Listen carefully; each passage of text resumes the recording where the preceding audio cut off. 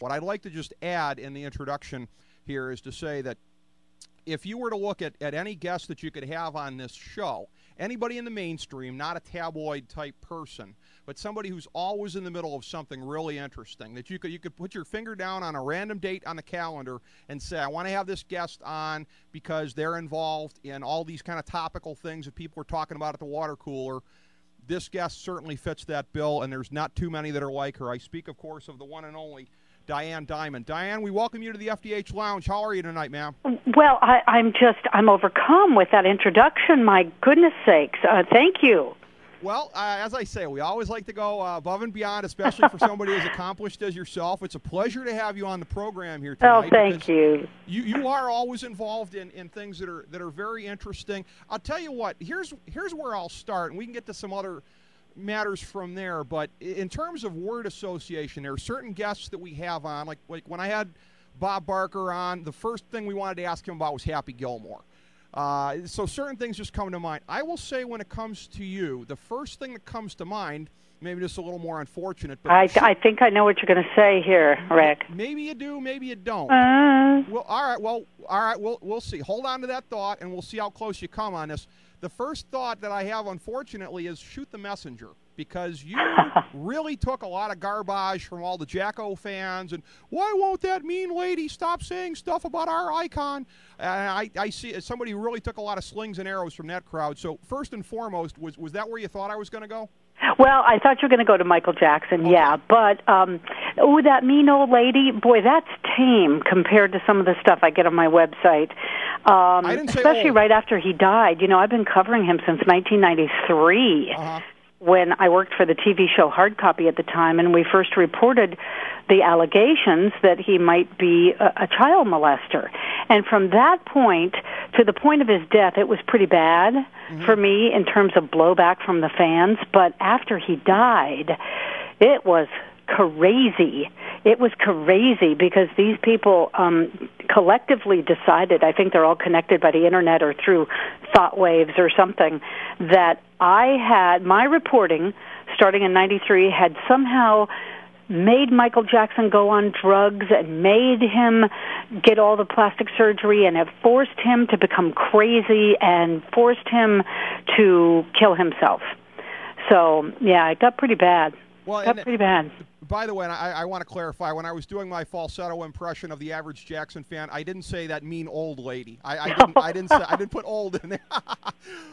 Thank you. Thank no, you, no, sir. No, I would. I would never do that. I'm a respectful person. and now, having said that, and again, I believe in accountability. I think we all do, and anybody who reads your columns and, and has followed your work understands that you believe in that as well. Having said Sure. that, though, if we're going to point a finger at anybody, in addition to Michael Jackson for anything that he did, one would think it would not be pointed at Diane Dimond, but rather Joe Jackson. I mean, if we're looking at who who formed this this guy, you know, I mean, it, look look no further than the immediate family. Right. Who who was the dominating force in his life was his father, of course. But it was also his mother.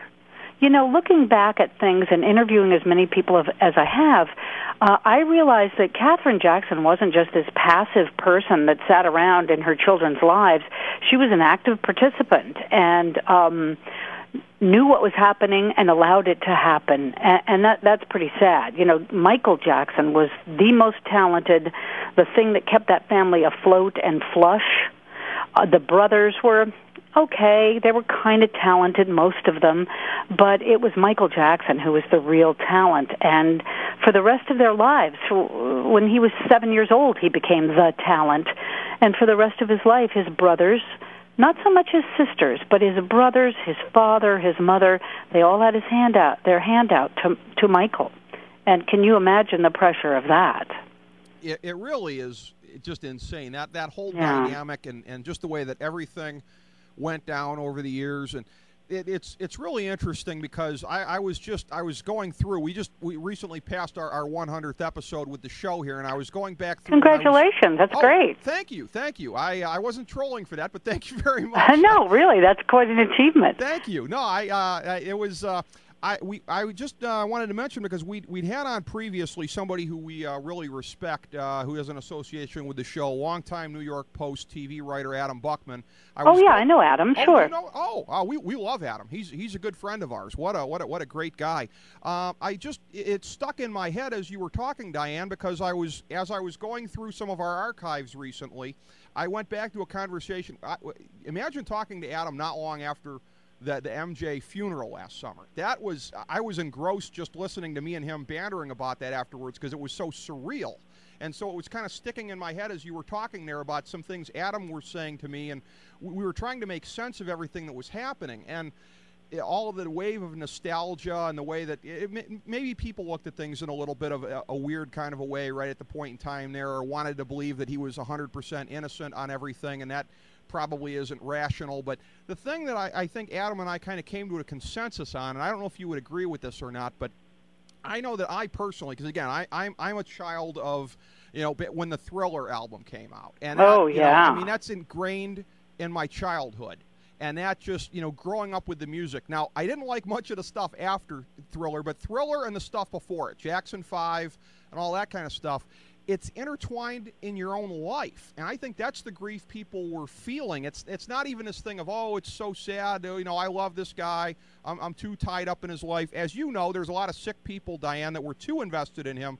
But for the rest of us that were feeling really sad about this and maybe couldn't pinpoint it it's probably because we felt like a piece of our own lives kind of was gone because it was so intertwined with the music and the memories. You hit it right on the head, I think, Rick. Really, it it. I mean, who didn't grow up with Michael Jackson? If you were six or twelve or fifteen or eighteen, Michael Jackson has always been there in some way, form, or shape. And even when he got a little bizarre, started carving up his face and turning from black to white and all of that, the music endured, and the music still endures to this day. I mean, for goodness sake, his estate is making more money now than it ever was during the last uh, years of his life, and it's because he really was a musical genius. But you know, Quincy Jones said, sort of tongue in cheek, you know, I liked working with him, but he was a real perfectionist.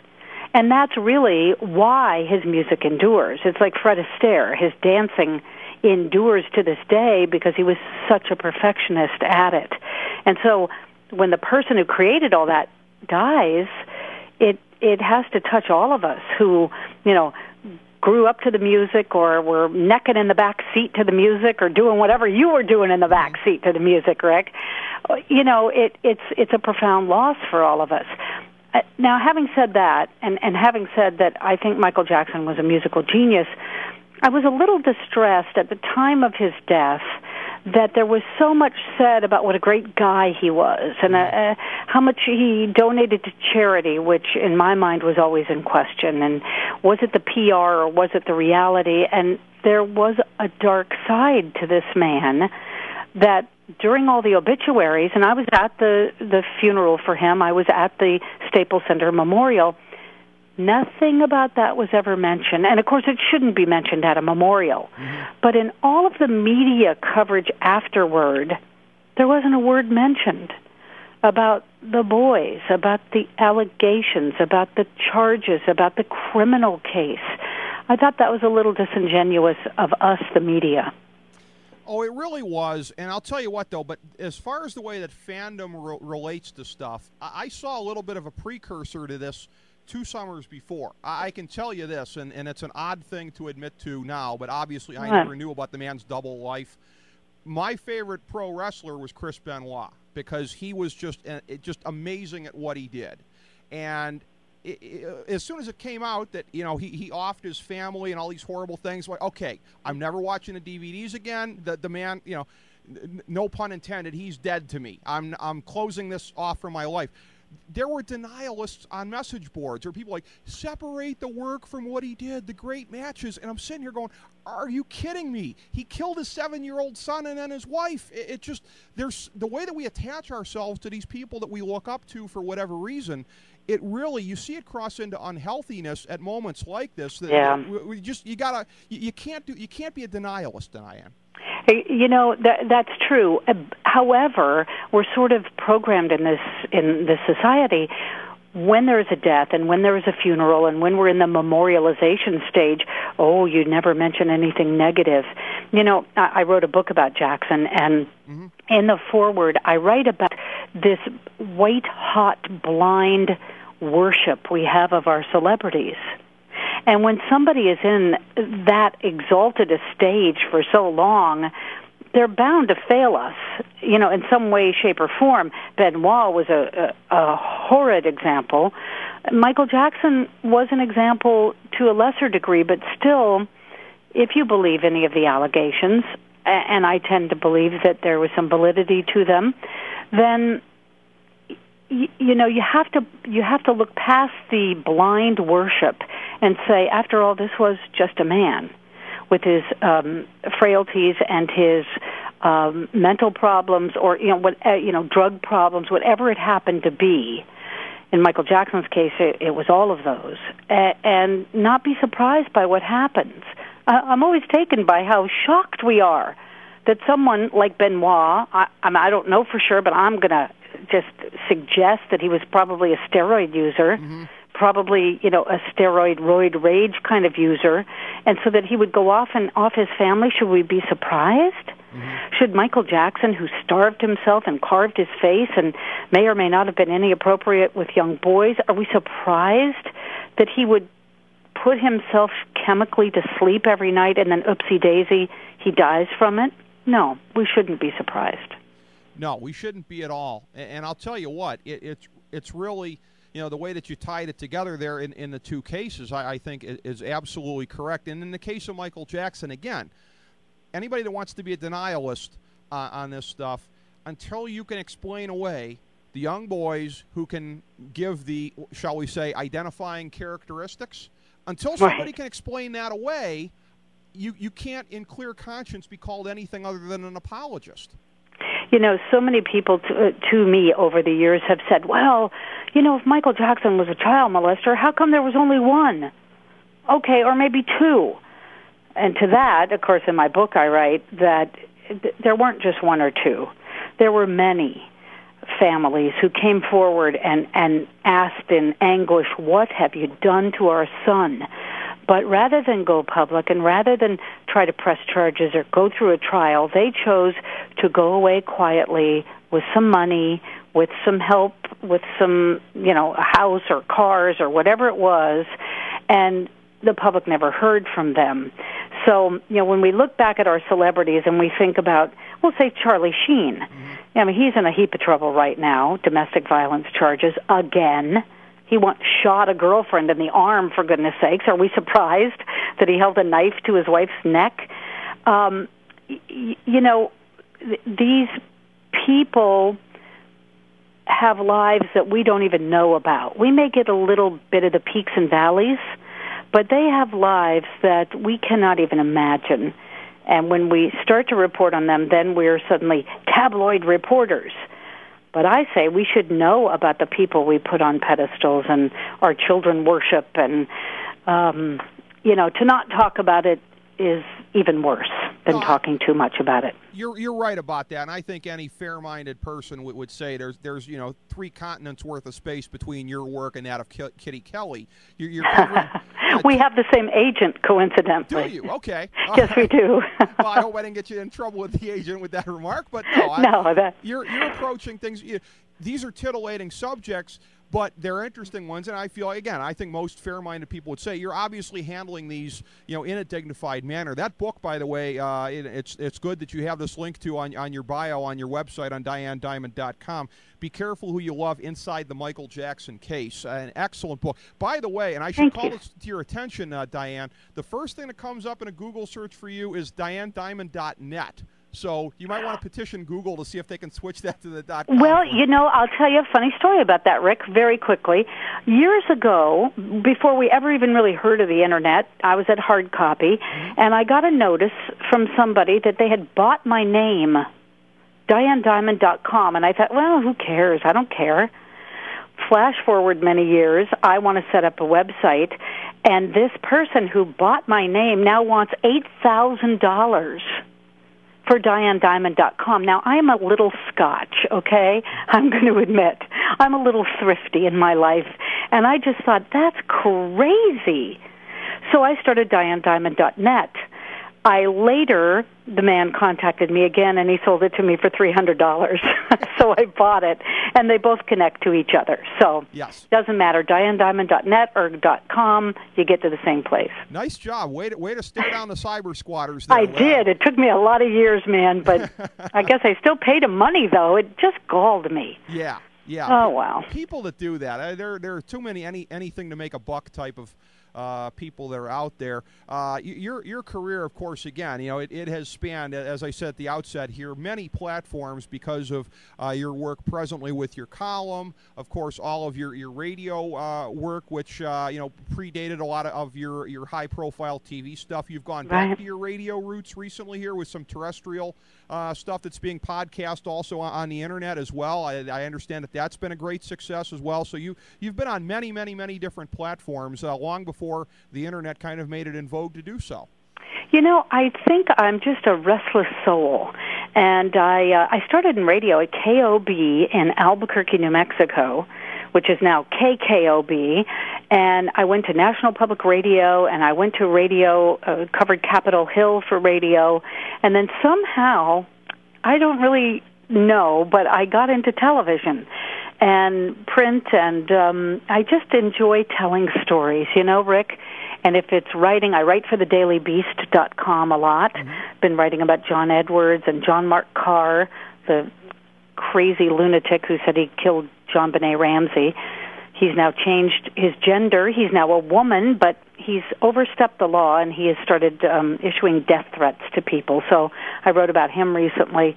I just um, you know, my parents grew up in North Dakota and Canada, right up at the Canadian border. And there were farm kids and they didn't have television. They had some radio, but what they did at night was sit around and tell stories. And this is what I grew up with when all the relatives visited us in Albuquerque, New Mexico. And I think I just um, became enamored with the the talent of of true storytelling it is a real talent. I'm not sure I have it, but I try very hard. And so, whether it's print or radio or TV, I just keep hammering away. Oh, well, well we admire the versatility. It's it's good to mm-hmm. be able to uh, to do that. I have to mention, and this is something I was going to mention even before uh, you brought up Albuquerque here, but I have to ask you uh, the, the thing that I think in, in, the last three years or so that most people tend to associate with that. I have to ask you: Do you watch Breaking Bad? A little bit. Okay. I do, and I really enjoy it. Uh, you know, I live now in in New York, uh, north of Manhattan. Very different sort of atmosphere than when I grew up. Very different geography. And when I watch that program, I'm back home. You know, I still have a, my my childhood home in Albuquerque, but I'm renting it out, so I don't get back there often. And when I watch that show, everything is not green where I live now, but it's all beige. Mm-hmm. And nothing is tall. There are no skyscrapers. It's all adobe flat roofs. And uh, it takes me back. I do like that show. You? Oh, I, I love it. I love it. Uh, I I believe it's certainly one of the best ones on TV. And and uh, I the, the thing the Sunday night, the the penultimate episode for the season was just. Uh, they've had like three episodes this year that I would classify as some of the biggest heart stoppers I've ever seen on TV. What I'm wondering about, because again, you know, so much of it's done on location, as you alluded to. Mm-hmm. I, I always see in the credits at the end that uh, the city of Albuquerque, you know, they, they they participate, they cooperate, they get a promotional mention there, and in a sense, it's very flattering things being shown about the area visually. In another sense, it's a real underbelly kind of a situation. I'm always just kind of intrigued that a city is is that enamored of associating with a show which show, talks about their violent meth trade. Uh, that's oh yeah, but listen, you got you got to realize when I grew up in Albuquerque in the uh, decade, uh, we were number one in crime per capita in America. Really? We were number one in bank robberies and murders and per capita, and so now, uh, you know, we're so far down the list. It's great um, you know, Governor Richardson, who I know for a lot of years, um, he he's a piece of work, that guy. But he, the the one really prescient thing he did was he said, you know what, Hollywood's getting too expensive. to make movies. New York is getting too expensive. I'm going to lure them all here and they gave great tax breaks. He set up the New Mexico Film Commission, um, and and then they extended it to episodic television. It, it's been a real boon to Albuquerque because when I go back, I still have cousins and best friends from school there. Um, you go downtown now; it's all revitalized, and the avenues are well they're not even really avenues but the the main streets are lined with those um those trailers from movie production houses. Mm-hmm. You know, there's the makeup trailer and the the chow trailer and the you know whatever, and you it, there's a real revitalization of downtown Albuquerque and Santa Fe and Taos, all the way up to Farmington in the north, because he he did that. It's a really smart thing, I think. Yeah, yeah, I think it mm. clear, clearly, yeah, it sounds like it's having a real impact, and, and that's that that's uh, I think a treat for our listeners to be able to hear about your perspective on that because I'm sure we have a lot of people in our audience that really love that show, and it's it's great to kind of hear a little bit about the behind the scenes. Uh, of the area. I alluded to this uh, a minute ago as well here uh, in terms of your radio roots. Uh, again, sort of returning to them a little bit. I understand one of your more prominent uh, projects at the moment is uh, doing a terrestrial radio show that actually is getting uh, worldwide uh, uh, notice and availability on the internet as well. Are you talking about Talk It Over? Yes. Talk It Over Radio. You know, I have always been associated with hard news, politics. I covered politics in Washington for many, many years for NPR and RKO radio networks, um, and then crime. But you know, one thing I learned covering those things is that it is the human behavior that guides everything that happens. Why do we do the things we do? And so the Talk It Over radio program uh, features a mediator. His name is Lee Jay Berman, a humorist, a comedian named Louise Palanker, who's hysterically funny. She has a great sense of humor about life in general, and then me, sort of the hard news journalist. And people write in to ask how to handle their personal dilemmas. How do you deal with that boss that won't listen to you? Or that miserable in law? Or the next door neighbor whose dog barks all night long? How is it that you can best deal with them so that they hear you? Not that you can confront them and make them feel bad and they capitulate and do what you want, but that they really hear you and hear your concern. And so our mediator, Lee Jay Berman, gives people great advice. You can check it out on talkitoverradio.com. Great advice on how to deal with those people in your life that you really want to hit over the head with a baseball bat. But then, of course, there'll, there'll be assault charges against you, and that doesn't get you anywhere. So, how do you talk to these people? And it's been a real revelation, Rick. I, I really, I really like that program. I, I hope that more terrestrial radio stations will pick it up. But they're awfully busy doing conservative politics. So we'll keep our fingers crossed. That does, that does kind of uh, predominate uh, the airwaves. Uh, and I have to say, too, it's very interesting. I, I, should touch on this as well with, with your one column on here, uh, The Lesson of Joe Sestak.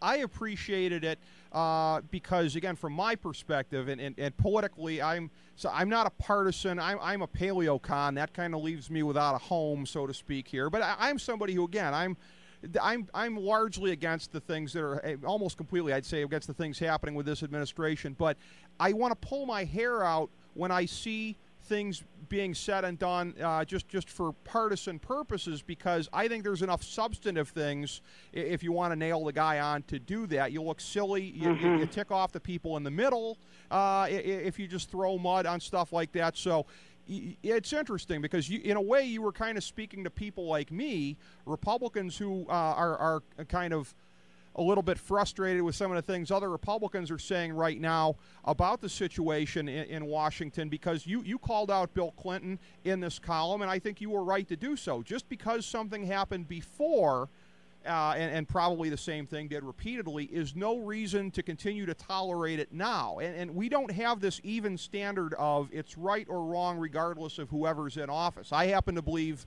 the same things are right or, or wrong regardless of administration. So, because of that, I really found your column to be very resonant. Oh, well, thank you. You know, I try.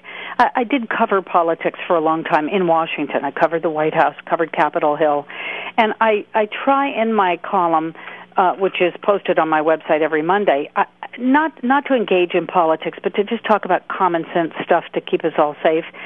But when somebody starts talking about a former president of the United States, Bill Clinton, committing a, a, a violation of federal election law by going to somebody and saying, "Hey, Democrat, please don't run against this other Democrat for the United States Senate seat because we'd rather have him than you." He has more seniority, Arlen Specter, than you, Joe Sestak, who's an admiral in the Navy for 30 years, for goodness sake.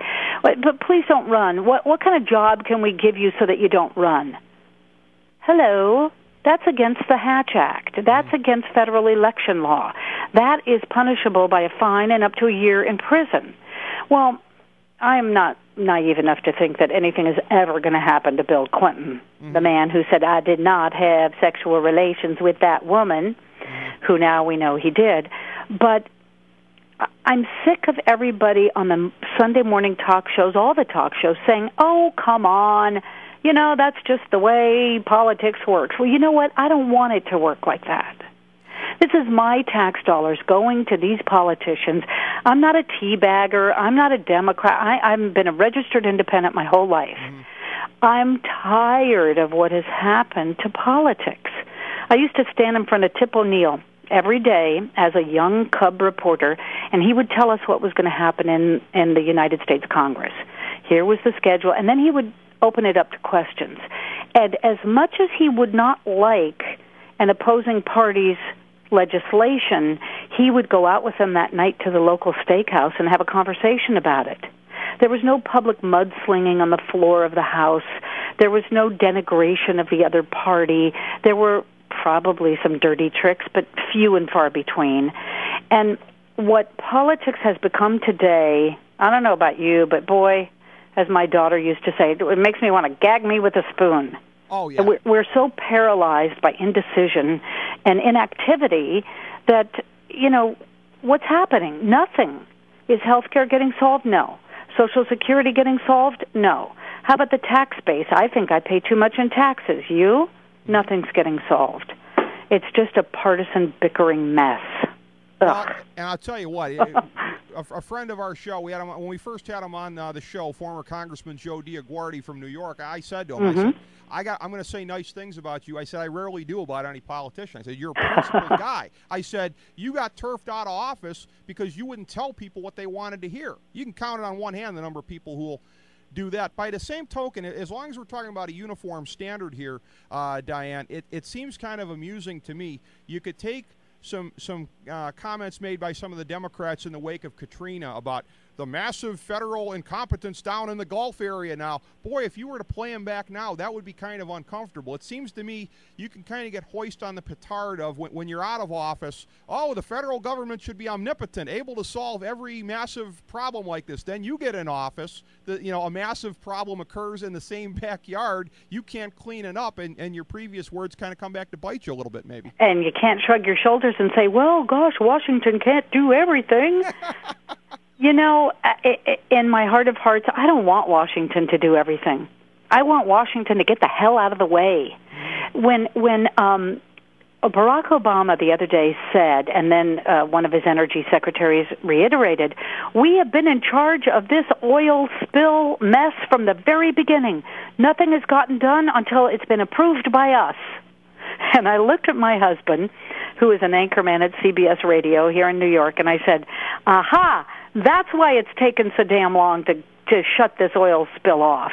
Everything they've had to do, they've had to promulgate the regulations through the EPA and the Coast Guard and the, you know, God knows what sort of um, government body. Who do you think knows how to cap that thing better than anybody? And uh, you know, P.S. Nobody knows how to deal with anything level because we've never had it. It ain't Washington. It's the oil companies. And now that the, the emergency has happened, I beg Washington, step the heck out of the way and let the experts move in unfettered and stop the leak. What is it now, 45 days or something? Uh-huh. If this had happened under George Bush, there would be petitions to impeach him. Yeah, absolutely. I, I think there's there's no question about that. And it, it's it's one of these things where again and, and again I, I'm somebody that that's pretty much anti big government uh, myself, so it, it's a matter where. I, I, I can't help but be amused in a situation like this. Again, as far as that's where you're setting the bar, that's where you're setting the standard. And again, unlike a lot of Republicans, I, I always conceded that Bush did a horrible job with Katrina. Having said that, I thought the state and local governments came up short also. By the same token, I have to laugh now. My Republican friends don't want to hear this, but I, I laugh with them and I say, Karl Rove is calling this Obama's Katrina. I, I didn't know Karl Rove believed that Bush had a Katrina. That's kind of funny. exactly. You know, I'm really uh, one of those states' rights people. I really, I guess I say I'm an independent, but I'm probably really a libertarian. Mm-hmm. Um, I just want the federal government to provide me with national defense and take a little bit of my taxes and spread them out for that and some other very essential services. And other than that, leave me alone. But I, I, I don't want to make this whole big Katrina debate here, but I would submit to you that it was the state down there and the governor down there and the mayor Nagin down there it, during Katrina that really fell short. Mm-hmm. I mean, you have some problems. Tell us what they are. Tell us what you need, and the American people will galvanize and help you out. I mean, when there were huge floods in North Dakota in the middle of the country, nobody said, "Hey, where's the government?" They just all lined up and made uh, big sandbag dikes, mm-hmm. and they kept the floods at bay as best they could, and then they cleaned it up afterward. Now, Katrina was a horrible thing, horrible, terrible, but it was that state of Louisiana's po- politicians, in my viewpoint, that were the first line of defense, and they failed miserably. From helping people in hospitals and nursing homes to the people stuck in the uh, sports stadium to petitioning Washington for help. Uh, I mean, according to my sources in Washington, Washington waited for days and days and days to hear what do you need? You know, there's a female governor down there. How would it look for George Bush to go riding in on his horse saying, All right, little lady, get out of the way. Washington is here to take over. So he waited. What do you need, Governor? And she never said and she never said and she never said. So i mean I, you know books will be written about this and have already been written about this. There was enough blame on that to go around as with this oil spill. You know i think a, a, a lot is not being said about how many people were involved in quote the control of this oil well. Bp owned the well but another company owned the platform and another company was in charge of the um, that valve that was supposed to stop the blowouts. And then there was another company that staffed the the the rig, and then you know we have specialized ourselves into paralysis in this country. you you know you go to your doctor and you say, "Doctor, I got this pain in my knee," and he says, "Oh, you got to go to an orthopedist." Sorry. Yeah. You know we have so many specialists in this country, right down to our oil rigs offshore that we there's nobody who can handle anything at first blush. That's a very good point. That, that's an excellent point. And, and as far as you know, the, the potential role of gender politics in the whole Katrina thing too. I mean, I agree with you. I never thought of it that way before. But yeah, it would have looked horribly condescending uh, had it gone down that way, and Bush just elbowing aside the locals, uh, particularly the governor. That's that's an excellent uh, point as well. It, it, and and this now this this almost horrible bookend you know, really to what the Gulf has gone through. You know, oh, it's just it's horribly sad that whole region down there. Oh, oh, and the, the devastation of the, the, the the fishing and the shrimping industries and and everything like that. This. Uh, the the scale of this thing just has the potential to be it, it just it, it's unbelievable. You know, uh, when when New Orleans was awarded the Super Bowl, I think for 2013, uh, they were saying, "Oh well, you know, Katrina will be well in the rearview mirror. The healing will be well mm-hmm. underway. Mm-hmm. We're going to barely be, you know, into the healing process from this thing by the time New Orleans gets their Super Bowl." You know, I have a dear friend named Stephanie Kovac who is um, making a documentary, still looking for funding to complete it, called Tide of Tears. And it is a documentary that she started several years ago about the um, diminishment of the Louisiana coastline because the Army Corps of Engineers didn't think things through, and because of the erosion of the coast, the Cajun culture is disappearing. The fishermen there, the um, shrimp stocks, the fish stocks, it, it had been disappearing at this huge, enormous rate before Katrina, before the oil spill, before all of these terrible things that we, you know, have seen recently. And I talked to her the other day. She lives in Dallas, Texas, and she said to me, sobbing, I am I'm I'm selling my house in Dallas and I am moving to to New Orleans to the area. I'm moving to the Gulf and I'm going to clean up. And I thought to myself, you're five foot 4 mm-hmm. You're one woman. What are you going to do? Yeah. But it it will take that sort of gumption, I think, to try to tackle this problem. And even with that gumption, it's going to take a decade or more to really, really clean it up. Yeah, you'd have to think. Sadly enough, that's the time frame they're they're looking at. By the way, we can arrange this uh, off air. I'd love love to get your friend booked for the show here to uh, talk about this uh, documentary if she'd like to oh, call sure. attention to. Sure, that, I mean that would be an excellent thing. We are the show after all, where nothing is off topic, as we've kind of demonstrated with you here tonight. We've covered an awful lot of stuff. But uh, Diane, I, I, I, feel like we just hit the tip of the iceberg. I'd love to get you back on. What are the things here, in addition to, of course, your investigative reports for the entertainment tonight, and you have information about that linked off of your website at dianedimond.com. What else didn't we pimp for you here tonight that we should be? Not a thing. Not a thing. I'm uh, as I'm talking to you. I'm watching my Yankees have just pulled ahead of Baltimore three to two uh, in the bottom of the sixth. So that that's the uh, only thing. Other thing I want to pimp is my my New York Yankees. well, you're you're you're, uh, you're fortunate to have a team like that to root for. My favorite's the Cleveland Indians. I'm not so fortunate. Uh, we, we were laughing about this earlier in, in the show. Stephen Strasburg, you know, with his big debut last oh, night. Oh, sure. His first road game is going to be here in Cleveland on Sunday. This shameless organization they are promoting the, the battle of the young phenoms, Stephen Strasburg against David Huff. And, and I mean, that that is that is just shysterism of the worst degree. You know, I'm sure with all the Hollywood coverage you've seen, you'd probably be hard pressed to have seen something as shameless as that. Yeah, I was talking to my husband, who's a huge Yankee fan. In fact, he is the voice of the Yankees here in New York, mm-hmm. one of the image voices. And I said to him, "What is this with this new phenom out there, this pitcher?" And he said, "I've never seen anything like it." in all my years of watching baseball, and he's a huge fan. But you know what? It's like Tiger Woods.